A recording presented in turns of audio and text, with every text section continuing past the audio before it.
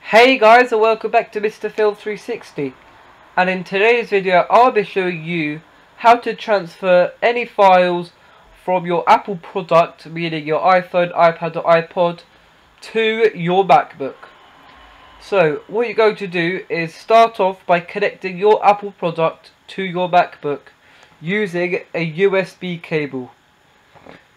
Now once you've connected it, what you're going to do is click the magnifying glass at the top right of your MacBook screen. Now what you're going to type in is image capture. Once it's open, it should straight away open up with your camera roll. If it hasn't, then all you have to do is click your name, the name of your product at the top left. Now once you're on your camera roll, what you're going to do is click any of the photos or videos you want to import to your MacBook. So say I want to import this one, I'm going to click it and at the bottom right I'm going to click import. And once I click that it should go straight to my desktop. If you'd like it to go to a different folder, just click it here and then click the folder you'd want it to go to.